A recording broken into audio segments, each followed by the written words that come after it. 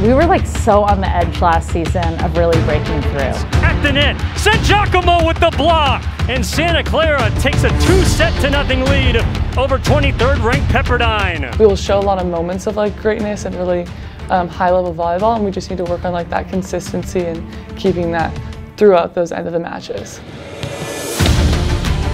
We all went through a lot of battles mentally, physically through season, and I think that made us stronger coming in to this coming season and gave us a lot of confidence knowing that we've been through so much already.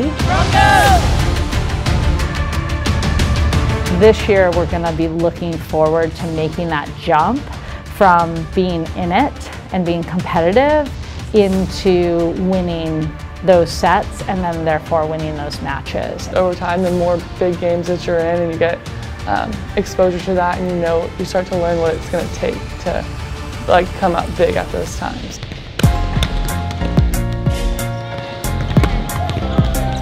It makes preseason really, really important um, because we already have all those pieces. It's just tightening up those bolts and going through like fine tuning and detailing.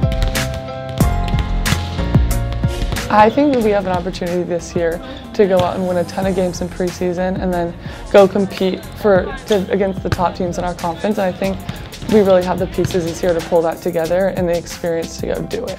I'm excited. We don't have a lot of time to get there, right? My program philosophy and the way that I like to facilitate for our team is about the empowerment of the women that are on the team and not just for themselves like as individuals that is really really important but also in the way that we can come together and achieve uh, for the larger group and I feel like if that's where we can get then folks are having a really good time while they're working really hard to achieve.